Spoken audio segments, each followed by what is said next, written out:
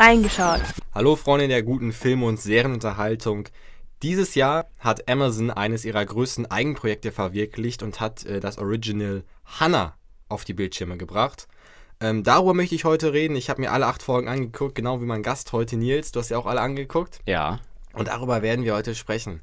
Mal ganz äh, kurz zu den Basics. Ähm, ist am 29. März 2019 rausgekommen, Hannah. Es gab auch so eine kleine Preview, habe ich gesehen, und zwar nach dem Super Bowl wurde die erste Folge für eine begrenzte Zeit auf Amazon gestellt und so als Teaser kann man sich das angucken. Acht Folgen hat das Ding insgesamt, ja, 45 bis 55 Minuten. Ähm, genau, fangen wir mal an und ganz kurz, bevor euch das anhört, ähm, wenn ihr die Serie noch nicht geschaut habt und das unbedingt machen wollt, äh, dann macht das jetzt und kommt dann sofort wieder hin zurück, weil dieser Podcast wird wahrscheinlich einige Spoiler zur Serie ähm, Hannah enthalten. Deswegen noch nicht geguckt, dann sofort jetzt angucken. Am Stück. Bräuchte man ungefähr sieben Stunden für und wieder hinkommen. Ähm, das ist dann euer Auftrag fürs Wochenende. Fangen wir mal an nach der ersten Folge. Ähm, die war ja im. spielt ja in diesem Wald. Ich weiß nicht, ob du dich noch daran erinnern kannst. Ja, doch. Ähm, wie war so dein Eindruck danach, nach der ersten Folge? Es war seltsam zu sehen, wie Leute da auf einmal im Wald leben. Ihr Ziehvater, Erik, äh, trainiert sie zu einem Killer.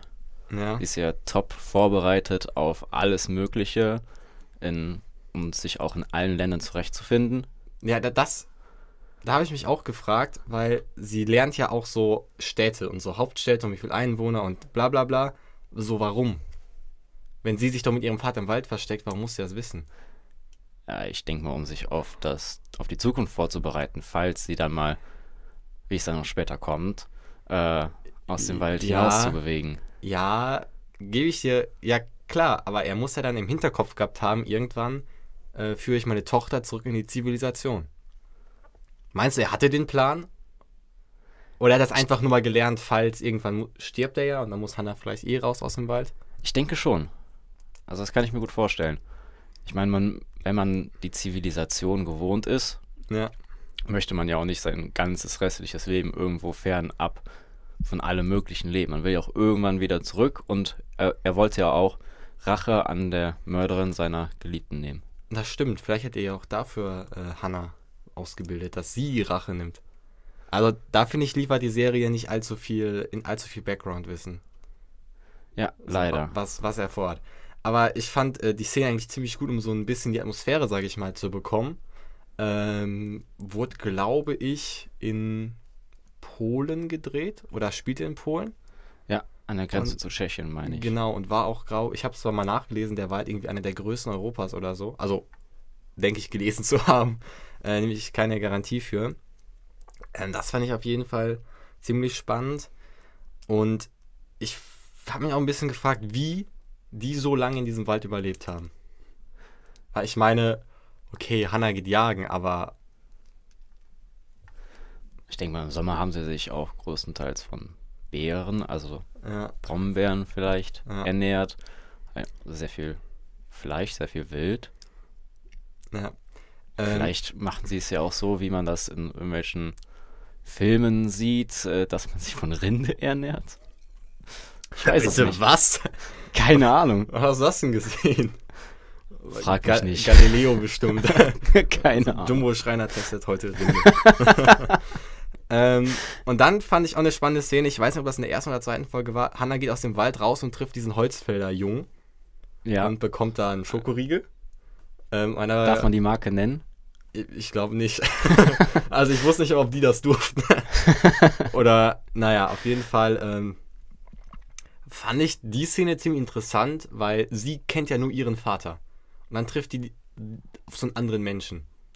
Das fand ich krass und hätte mir vielleicht dann gewünscht, dass man da vielleicht ein bisschen mehr Zeit noch äh, für eingebracht hatte. Ja. Für, diese, für diese Begegnung. Ich finde, äh, es war ja dann in der zweiten Folge auch schon, wo sie dann mehr Zeit mit diesem Jungen verbringt. Ja, das Das war ziemlich schnell, fand ich. habe ich, hab ich mich auch gefragt. Klar, es ist bestimmt äh, interessant, wenn man dann auf jemanden Neues trifft. aber dann plötzlich so eng beieinander, wenn man niemand anderen Ja. kennt außer seinen Ja, Vater. stimmt. Man müsste ja total verstört sein, dass man Ja. einen anderen Menschen. Was ist das? Ja, das, da fand ich, wurde so ein bisschen aufs Gas dann gedrückt. Also da halt Ja. jemand schnell zur Handlung kommen. Kann man auch irgendwo verstehen, klar. Das ist nicht Schwerpunkt der Serie. Aber ich fand's, ich fand's spannend. Ähm, und dann kommt es ja, dass dadurch, dass sie mit dem Jungen da zu tun hat und dann, glaube ich, auf so einen so einen Satellit oder so Ja. draufklettert, dass natürlich die Polizei kommt und ähm, jemand erkennt sie oder leitet das irgendwohin weiter. Ähm, und dann wird ja Marissa Wiegler, sage ich mal, eine der Hauptfiguren, ähm, aktiv und möchte, ähm, möchte Hannah finden. Wahrscheinlich, um sie zu eliminieren. Oder Ja. Johannes, äh, nicht Johannes, wie heißt der? Der Vater. Erik. Erik Heller ähm, zu eliminieren. Und sag ich mal, dann, dann beginnt ja alles. Und ich habe mich auch gefragt, es beginnt dann ja auch so eine Flucht. Äh, er, beide fliehen ja getrennt durch Europa irgendwie. Ähm, sie startet ja in Marokko, in dieser Militärbasis. Ja, sie wird äh, nach Marokko geflogen Ja. Und und kommt dann über Umwege mit der Familie, auf die sie trifft, ja, äh, dann über Spanien nach Frankreich Ja. und von dort aus nach Berlin. ja, Und Erik äh, nimmt, meine ich, den Weg über Osteuropa, dann Ja. durch die Ostsee. ja, der schwimmt. Es gibt eine Szene, wo er durch so, einen- so einen Fluss schwimmt, wo er sich irgendwie mit so, so Fett kauft und sich einreibt. Ja. Ja. Ich bin mir aber nicht sicher, ob es ein Fluss war oder ob er nicht sogar wirklich durch die Ostsee geschwommen ist, von der polnischen Grenze äh, zur deutschen Seite. Durch die Ostsee, wie lang ist das denn? Ich weiß es nicht. Ist machbar? Also er ist ja, er ist ja wahrscheinlich sportlich. Ja, er ist ja durchtrainiert. Ja. Er ist auf sowas wahrscheinlich auch vorbereitet als ehemaliger Agent. Ach ja, das war. Und da ich, gibt es da die Szene, wo er dann am anderen Ufer ankommt und zwei Polizisten tötet. Das wird ja nicht gezeigt, aber Marissa Wiegler trifft ja auf diese beiden toten Polizisten. Und da, das ist, ist eigentlich nur so eine Nebenszene, ne? Ja. Da ist der Punkt, wo ich mir gedacht habe, was ist Erik Heller für ein Mensch, der möchte unbedingt das Leben seiner Tochter retten. Kann man verstehen, aber tötet dafür zwei unschuldige Leben. Und das ja nicht nur in dieser einen Szene. Das geht Ja. ja, durch die ganze Serie. Ist auch, ähm, wo die da in, in Deutschland auf jeden Fall dieses Waffenlager da ausrauben, überfahren. Also, ich weiß nicht, ob die die töten, aber rammen die auch so ein Polizeiauto und so. Und da ist der Punkt so, wie weit kann man da noch Erik Heller so als Guten sehen, weißt du? Ja, das, das so- habe ich mich auch gefragt. Und da dachte ich, ist eigentlich übermoralisch verwerflich, was er macht. Er will diese U-Tracks-Einrichtung da zerstören, weil er Kinder ähm, zu Kampf, ähm, Kampfbestien da herangezogen werden. Aber tötet einfach so, einfach so aus dem Nichts Polizisten so. Und da ist mir die Figur ziemlich unsympathisch äh, geworden. Wie ging's dir? So fand ich das auch. Also, es war seltsam, dass er auf einmal ganz viele Leute Ja. umgebracht hat, auch Passanten, meine ich. Pass. Wo meinst du das jetzt? Oder dass er die zumindest gefährdet. Ja. Ähm, als die in Berlin war, das glaube ich. Genau. Wo er ähm, in dieses Hotel geht. Das stimmt. Das war. Er ist ja auch So, bereit, jede Person zu erschießen, die ihm in die Quere kommt. Ja. Ja. Also da ist bei mir die Stimmung so ein bisschen, bisschen gekippt. Was ich aber. Also Eric Keller fand ich ziemlich unsympathisch, die Figur. Aber sehr sympathisch fand ich diese Familie, auf die Hannah dann in ähm, Marokko trifft. Ja, Und ich fand auch so krass, weil in der ersten Folge war es noch ziemlich düster, weil da war alles in dem Wald und Hannah hat kaum geredet und so. Und dann ging die erste Folge, glaube ich, los. Ähm, also ich habe die am Stück, glaube ich, geguckt. Ich hatte da nur dieses, bei Amazon gibt es ja dieses 3, 2, 1 und äh, jetzt startet das. Ähm, und die, erste Folge endete richtig düster und die zweite endete, und die zweite fing einfach mit so einem Snapchat-Filter an. mit diesem Hundefilter. Ich dachte Ja. mir so, das war ein guter Übergang. ja. Ähm, Man sieht auch, wenn man, wenn Hannah mit der Familie unterwegs ist, Ja. dann ist die Stimmung allgemein, also auch von Bild her, ist einiges heller. Das stimmt, Es wird ja. schöner dargestellt. Ja.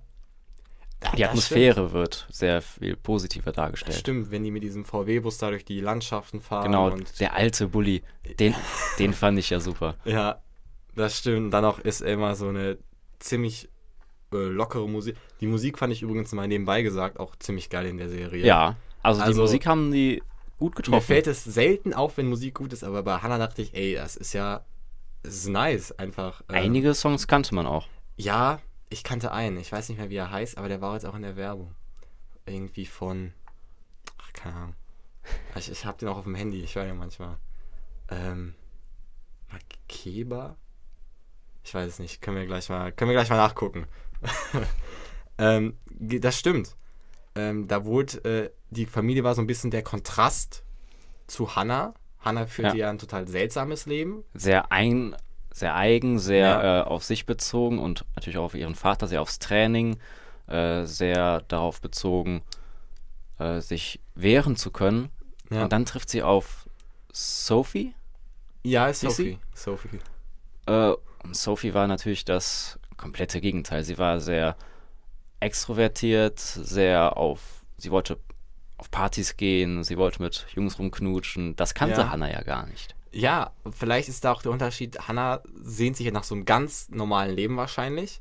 Und Sophie sehnt sich so ein bisschen nach so diesem Anderen Leben. Ausbrechen, genau. Genau. Und sie sehen sich für mich so gegenseitig so. Nach diesem freien Leben, was ja Genau, Hannah führt. Genau. Ey, das ist, äh, jetzt wo du das, das ist halt echt so. Und als die äh, in Eng äh, sie wohnen ja in England, Ja. Sophie, und. In äh, London meine ich, kann das sein? Das weiß ich nicht. Ähm, in England auf jeden Fall. Ja. Und ähm, als sie da diesen Bus klauen von dem Vater und wegfahren, so von ihren Eltern. Das ist ja, also das war ja Sophies Idee und es ist ja das, was Hannah zwangsweise macht, also von ihrem Vater getrennt sein. Ja. Und da finde ich, sagen wir auch nochmal diese, dass beide das Leben des anderen förmlich irgendwie begehren oder wollen. Und das fand ich war, war ziemlich clever gemacht. Das war ein schöner Kontrast.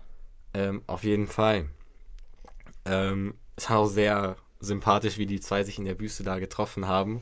Hanna in dieser Das war eine sehr Militär, lustige in Szene. dieser Militäruniform da, so, die hätte da Jahre überleben können. Und dann kommt Sophie einfach so mit Flipflops da lang gelaufen und mit ihrem Handy und versucht irgendwie äh, ihre Eltern anzurufen.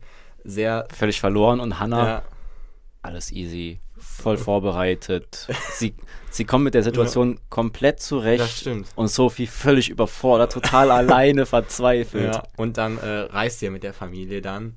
Ähm, fand ich auch ziemlich cool. Das fand ich, ah, da gibt es eine Sache, da sind die in der Disco dann und da wird gezeigt, wie Hannah tanzt und so. Die Szenen gab's, die gab es dann später fast nochmal genauso auf dieser Party in Ja. England. Die fand ich dann so ein bisschen langweilig. Die Ging, teilweise gingen die über 10 Minuten, wo man nur Musik gehört hat und irgendwelche Leute tanzen sehen. Aber ich fand es trotzdem interessant zu sehen, wie sie dann äh, aus diesem Leben vom Wald dann Ja. in dieses Nachtleben in einer Großstadt Wie die gerät. ausbricht ein bisschen. Genau, wie ja. sie au- auch Das selber aus sich rauskommt. Sie steht ja da äh, und singelt von den Leuten, die Ja. tanzen auf dieser Tanzfläche, das äh, Flackerlicht. Sie steht da erst total ver verloren und auf einmal fängt sie an zu tanzen. So völlig frei, wild, äh, ihre Haare fliegen durch die Gegend. ja. So als ob sie das Stimmt. Gefühl hätte, äh, frei zu sein und wirklich aus sich rauszukommen. Nicht, Das mehr, das nicht mehr nicht so gefangen, betrachtet. nicht mal mehr gefangen in dem Wald, wo sie war. Ja, und es gibt auch eine Szene, da wo sie im Auto warten soll, während die anderen das Waffenlager in Berlin überfallen. Dann macht sie auch Musik an so und fängt an zu tanzen, wahrscheinlich, Ja. weil sie im Moment auch so ganz kurz so aus diesem, aus ihrer Flucht und aus ihrem Alltag so ausbrechen will. Stimmt, das habe ich gar nicht so beobachtet. Die Szene, die du gerade angesprochen hast, wo sie das Militärlager überfallen. Ja. Ich fand es sehr seltsam, wie Hannah, die nie irgendein ähm, Ja. motorisiertes, äh,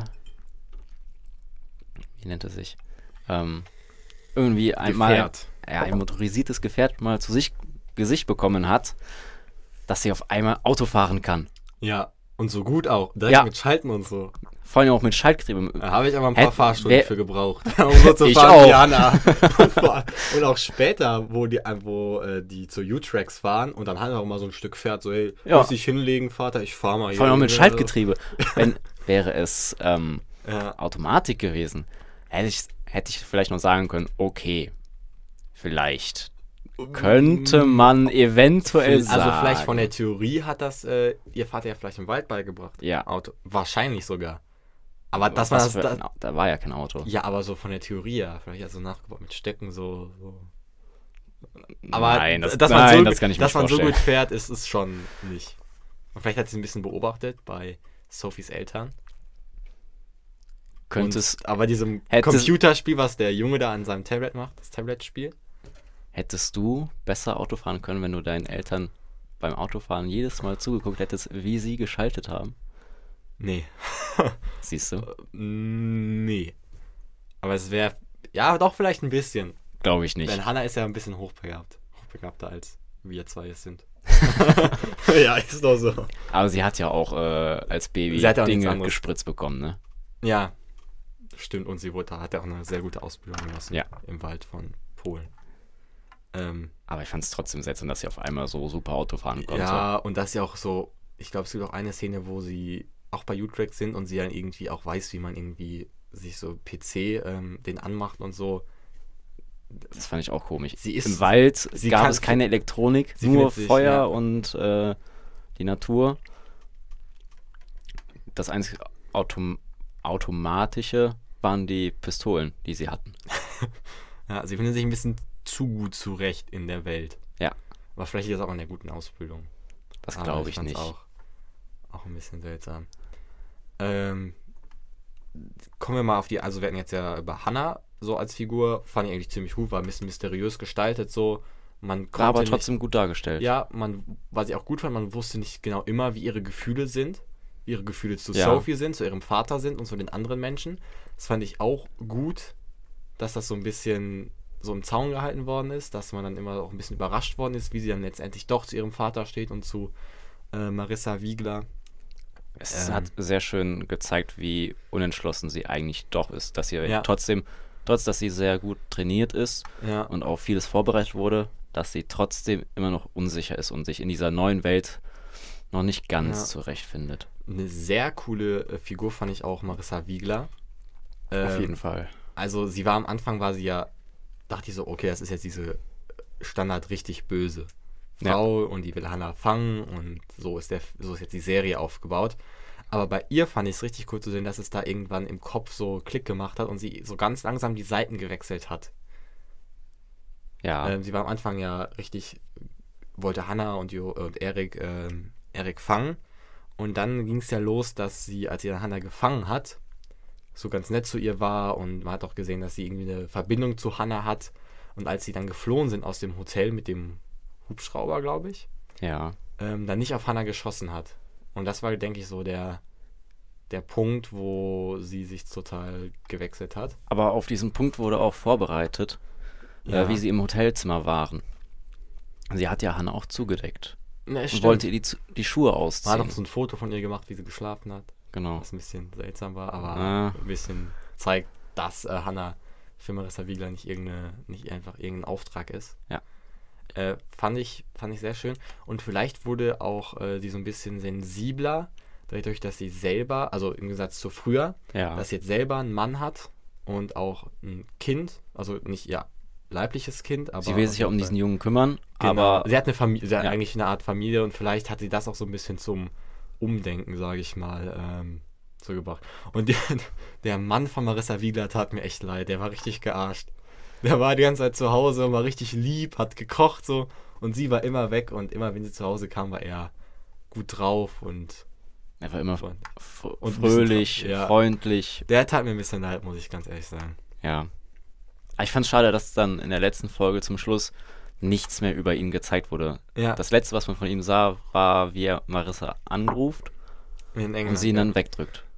Nein, äh, Ah, auf dem Weg zu ach- Ach so, ja. Das fand ich ein bisschen schade. Ja. Aber vielleicht sehen wir ihn ja nochmal. Würde ich mich freuen. Wenn es einen zweiten Teil, also eine zweite Staffel von der Serie gibt. Wurde meinst du? angekündigt für Wurde 2020. angekündigt? Oh. Direkt zwei Wochen, nachdem die erste gestartet ist. Und für mich so einer der coolsten Nebenrollen. Also, Doch. also ein Sympathie, er ist ja. ein Sympathieträger, finde ich. Ja. Weil alle anderen Figuren haben ja irgendwie Scheiße mal gebaut in ihrer Vergangenheit, außer Hannah jetzt vielleicht und Sophies Familie. Und er ist da, ähm, er ist da ganz cool. Lass uns doch mal jetzt ganz kurz über ähm, die Flucht reden. Also, was heißt die Flucht? Ja, doch schon die Flucht vor ihren Verfolgern. Ähm, Hannah ist ja hauptsächlich mit Sophie und mit dem Zug gereist.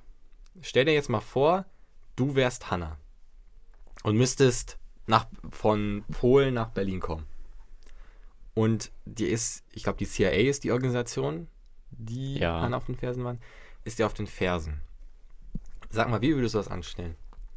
Am unauffälligsten reisen. Keine Ahnung.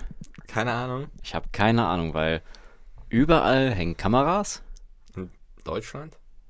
An, ja, nicht überall, aber es gibt schon einige Kameras und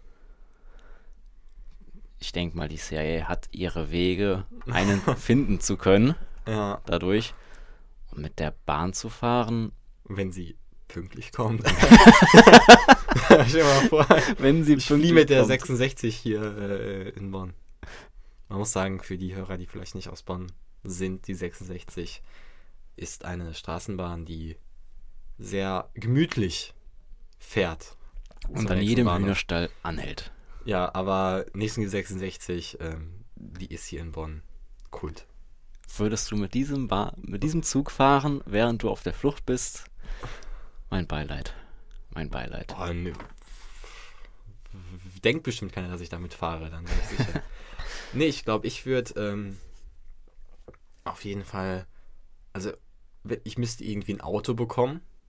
Das müsste Ja. man sich ja stehlen und da ist das Problem, wenn das Auto gestohlen, dann ist die Polizei dir schon so auf den Fersen und da sucht nach dem Kennzeichen überall. Ich, das ist ein Problem. Ich glaube sogar, ich würde mir, also Hanna ist ja sportlich, ich würde mir, mir würd ein, Ein Fahrrad. Fahrrad. nehmen und würde so übel durch die Käfer fahren, weißt du? An so einem Kaff, Da, da wo gar keine Polizei jetzt ist. da braucht man aber auch natürlich die Orientierung dafür. Vielleicht Ah. steht man sich irgendwoher noch eine Landkarte, damit man weiß, wo Landkarte. man herfährt. Macht sie ja in Berlin. Man kann Stimmt. Karten lesen. Von daher würde ich mir so, so ein, so ein Decken ADAC-Atlas oder Ja. von irgendeiner anderen Marke, die Atlas herstellt, äh, nehmen. Und würd, ja, ich würde, würd, glaube ich, mit dem Fahrrad durch die Dörfer fahren. Bräuchte zwar ein bisschen länger, aber denke ich, also mit der Bahn. Aber es wäre ich, sicherer, am unsichersten wäre natürlich Fliegen. Da wird natürlich. ja jeder gecheckt. Also es geht nicht. Bahn. Wer- Man kann sich ein Ticket lösen. Das ist ja, muss ja, sind ja keine Daten drauf von dir selber. Ja. Ich denke, das wäre okay, weil du ziemlich schnell bist. Ich glaube, das wär, Bahnfahren wäre sogar sicherer als Autofahren. Weil Auto, Ja. Vielleicht machen irgendwann, wenn die, oh, der will. Vielleicht bist du an einer Stelle ein wenig zu schnell und wirst geblitzt. Ja, sowas. Dann Oder jemand, oder normale Polizeikontrolle einfach und du musst Führerschein zeigen und dann sehen Ja. die, ah, du bist hier, Hanna, komm mal bitte mit. ein blöder Es ist Zufall. im Zug ja nicht. Die stellen mir dann ein Ticket ab und dann ist, ähm, ist egal, wer du bist. Genau. Äh, mit Zug, also eigentlich wäre es schon clever, mit Zug zu machen. Zu Fuß fände ich ein bisschen auffällig, weil du fällst ja auf, wenn du alleine. Es wird auch sehr, sehr lange dauern. Das würde sehr, sehr lange dauern. Von Polen nach Berlin. Wir können das gleich mal nachgucken, wie lange das dauern würde. Sagen wir mal am Ende des Podcasts, äh, gucke ich Ja. gleich mal nach. Also, aber mit Fahrrad, Fahrrad, Fahrrad wäre gut. Dann kommen wir mal auf U-Tracks zu sprechen. Ist eine Anlage, also ist eine, wo liegt die? Auch in Polen? Äh, die Anlage liegt, ich meine, Auch in Osteuropa? ja in Osteuropa. Ich meine in Tschechien oder im Norden von der Ukraine. Ja, auf jeden Fall ähm, wurde ja, glaube ich, in der siebten Folge oder so wird das gezeigt und da fand ich es erstmal, fand ich, sah, die- sah die richtig nice aus von oben. Also, man kennt ja so aus manchen Filmen, wenn dann irgendwie in der NSA oder CIA Geheimeinrichtung gezeigt wird, irgendwo in der Wüste, so ein richtig stylisches Gebäude. Oder so ein Bunker, so. ja, und dann fahren dann da, dann fahren dann da so schwarze Vans vor und dann steigen da Security-Leute aus. Das fand, finde ich immer so ein bisschen, ja, okay, äh, kann doch eine neue Folge Navy CIS sein. Aber da fand ich das gut, dass er so, der war ja im Wald, war versteckt und war, also von Ja. außen sah er alt, das von innen war ja übel modern. Es war nicht so das klassische James Bond-Feeling. Genau, es war nicht so, guck mal, wir bauen eine geheime Einrichtung, übel Ja. modern. das, Wobei, von innen war sie ja Von- relativ ja, modern. ja, Nur von außen sah sie sehr runtergekommen und alt aus. war auch, ein- also ja, was denke ich mal auch ziemlich gut äh, für die Tarnung war. Ähm, das fand ich auf jeden Fall ziemlich cool. Und ähm, kommen wir mal auf so sprechen, was sie bei U-Tracks machen. Sie spritzen den Mädchen, es sind ja nur Mädchen. Äh, ich meine, zu Hannas Generation, da waren es nicht nur Ja. Mädchen, ich meine, es waren auch Jungs dabei. Ja. Aber dann hat Marissa Wiegler ja den Befehl bekommen, die Kinder zu töten. ja. Und sie dann zu verbrennen. War krass. Vor allem warum? Weil die einfach ihren Eltern zurückgeben Weiß können. Also, Das war, das war echt ein es war ein ziemlich ziemlicher Schockmoment. Fand ich auch, das war so der härteste mit der Serie. Ja. Die haben alle schlimme Sachen gemacht, aber Marissa Wiedler hat echt äh, Das war schon krass. krass. Ähm, Und auf einmal wurde das Programm wieder aufgenommen ja, und den, aber Marissa, Marissa wusste nichts davon. Genau. Marissa Wiedler. Ja. den Babys wurde dann wieder etwas gespritzt. Und Und die wurden zu so. Kampfmaschinen gemacht Ja. und hatten eine ähnliche Ausbildung wie Hannah im Wald, fand ich. So, die mussten die Städte lernen, da weißt du eine Folge, Genau. wo die ganzen Staaten von Amerika lernen. Ähm, ich meine, sie sagen auch den Anfang von der Unabhängigkeitserklärung auf. echt? Ach ja, wo die auf diesem La ja, das wird äh, drunter gelegt, als sie auf diesem Genau. Laufband da sind. Ah ja, stimmt. Warum Sie werden quasi zu immer. Killermaschinen vorbereitet Ja, von der amerikanischen Regierung. aber nicht in Amerika. Nein. Was seltsam ist. Dass diesem Programm auf. Es ist ja ein sehr unmenschliches Programm, was sie da Ja. führen. Und wahrscheinlich, um dann keinen Verdacht auf sich zu ziehen, haben sie das irgendwo im Nirgendwo gemacht. Ja, okay, das, äh, das macht Sinn.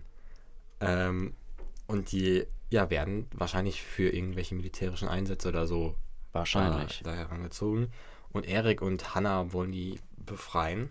Also Erik wahrscheinlich um eine Wiedergutmachung irgendwo Weil er ja zu leisten. mit verantwortlich war, dass die Babys überhaupt ja, zu dieser rekrut- der war Organisation ja, kommen. Der hat ja nur, also was heißt nur, der hat die rekrutiert. Ja. Ähm, meinst du, der wusste damals schon, was mit den Babys passiert? Oder dachte, das wäre nur eine, in Anführungszeichen, harmlose Forschung? Ich denke mal, er war sich bewusst, dass ähm, diese Babys auf Kampfmaschinen trainiert Ja. werden, bis dass sie erwachsen sind. Ja. Aber er war sich wahrscheinlich nicht bewusst, dass sie auch äh, Substanzen gespritzt bekommen. Ja. Ähm, fand ich auf jeden Fall interessant. Fände ich auch interessant, wenn in der nächsten Staffel ein bisschen mehr gezeigt wird, äh, was, was in diesen Einrichtungen passiert. Und dann befreien die die ja. Und was ich dann einen krassen Moment war, dass da waren ja keine Ahnung wie viele ähm, Insassen, dass nur eine, sag ich mal, so ein bisschen sich bereit erklärt hat, mit den beiden zu gehen. Und die anderen, die sogar, also einer hat ja Hannah angegriffen, weil sie ein Eindringling war. Wie, Ja. was für eine Gehirnwäsche die da gehabt haben. Die Also das ich- eine, f- die Freundin von dieser Rebelle, nenne ich sie jetzt mal, Ja, sie war sich ja auch unsicher, ob sie handeln soll oder nicht. Also sie hat ja im Endeffekt gar nichts getan, aber sie war sich unsicher. Das konntest du an ihrem Gesicht sehen. Das stimmt. Und am Ende, wo die im Hubschrauber sitzen, guckt sie auch noch so eine andere Insassin an. Dann guckt sie wieder ganz stramm nach vorne. So, da hat die diesen Moment, Ja. äh, Moment der Schwäche, sage ich mal in Anführungszeichen. Ähm, Finde ich auf jeden Fall interessant. Und da gibt es auch, da kommt auch irgendwann der Punkt, wo Marissa Wiegler den ähm, ähm, Leiter der Operation da, diesen neuen Leiter, ich weiß nicht mehr, wie er heißt, Sawyer. Sawyer, genau, Sawyer erschießt und ähm, dann sagt hier flieht. Aber dann dachte ich, oh, Marissa Wiegler ist jetzt vielleicht auf deren Seite, ähm, ruft sie ja die Chefin von Sawyer an und sagt, ähm, ja, Johannes Heller hat ähm, Sawyer, er, ich sage immer Johannes, Erik Heller hat ähm, mich angeschossen und hat Sawyer erschossen.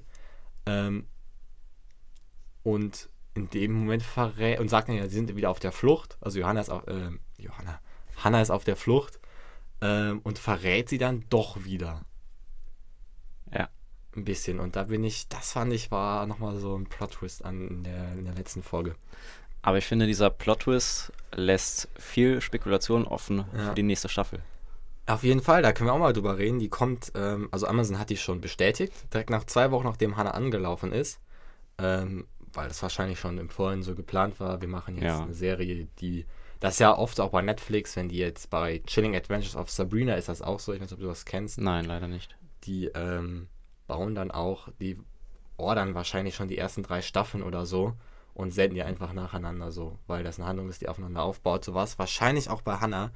Und so, also noch kein genaues Datum bekannt gegeben, aber wahrscheinlich so im März nächsten Jahres ähm, geht es weiter und ich bin ziemlich gespannt, wie es weitergeht, Ich auch. weil die Mission steht ja noch, diese Mädchen aus der U-Trax-Einrichtung zu befreien. Sie sind ja noch nicht befreit. Sie sind ja immer noch in diesen Militärtransporten. Bis auf eine. Ja, bis auf Ja. die eine. Und Erik ist weg. Erik ist tot. Der ist, aber ja, okay, weg ist ein bisschen eine blöde Beschreibung. Erik ist ja dann äh, im Bus leider äh, gestorben. Und die zwei, letzte Szene ist ja, wo sie da ähm, auf dem Friedhof waren und dann laufen sie durch so ein Feld. Auf den Wald und einen Berg zu. Mein, meinst du, das war der Berg und auch der Wald, wo sie am Anfang mit Erik gelebt hat? glaube ich nicht. Nein. Nee. Denk, also, oder vielleicht, ja, vielleicht meinst du, dass sie wieder zurück in den Wald gehen.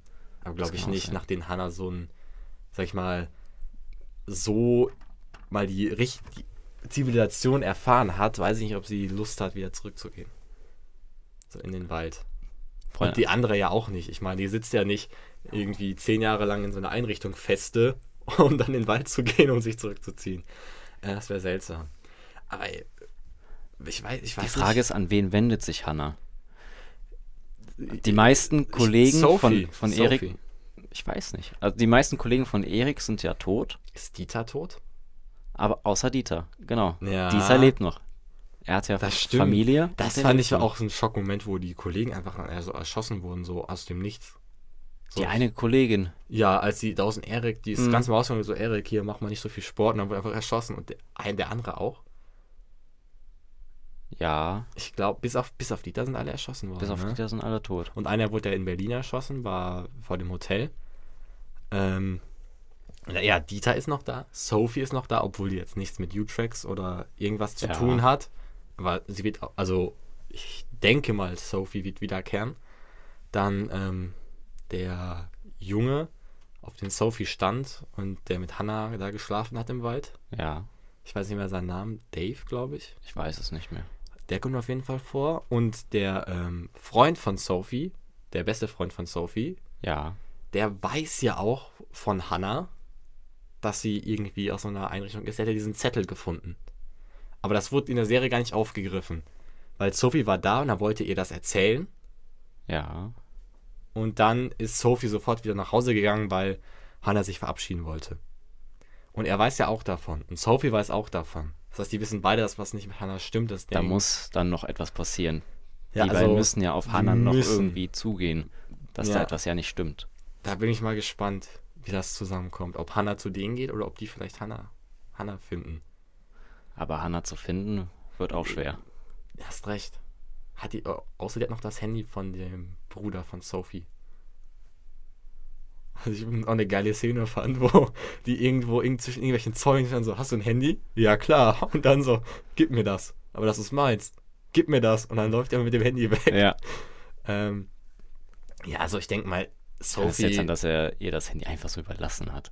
ja, ähm, und jetzt noch nicht mal bedankt. Hannah. Unmöglich. Ähm, Unmöglich. ganz kurz, so viel Zeit muss sein, wenn man schon Handy klaut, ja. Und sagen, danke, dass du mir das Handy gibst. Also Sophie auf jeden Fall dabei, äh, Dieter, denke ich, ist auch dabei. Und Marissa Wiegler muss ja, Ja. dabei sein. Und diese mysteriöse Stimme, die sich am Telefon meldet, die der Kopf der Organisation ist, denke ich mal. Die Chefin Ja. von Sawyer. Ähm, bin ich auch mal gespannt, was, was da dahinter steckt. Ich auch. Also, ähm, ja, was, Wahrscheinlich wird Marissa Wiegler einen ähnlichen Posten kriegen, den sie mal hatte, ja, äh, wie sie noch macht für Utrex gearbeitet hat, für diese Ja. Organisation. ja, Und dadurch, dass sie sich jetzt über ihre Lügen, ihre Meisterleistung an Lügen, wieder ein ihre, ihr altes Leben aufgebaut hat quasi. ja, Ich denke mal, dadurch wird sie wieder einen hohen Posten bekommen bei der CIA. Oder, das kann ich mir vorstellen, dass sie einen Jagd auf Hannah macht, aber ich könnte mir auch ziemlich gut vorstellen, dass ähm, Marissa Wiegler auch gejagt wird, weil sie weiß ähm, Bescheid, weiß über Hannah Bescheid, weiß darüber Bescheid, dass Utrex weitergeführt ist und was damals mit Utrex passiert ist, die weiß eigentlich alles. Ja, Die Person, die am meisten weiß. Also von denen, die in der Serie vorkommen. Und ich kann mir vorstellen, dass die CIA Marissa auch jagt und töten möchte und dass die sich dann mit Hannah und der anderen Insassin zusammentut. Fände ich auch ziemlich spannend, muss ich ganz ehrlich sagen.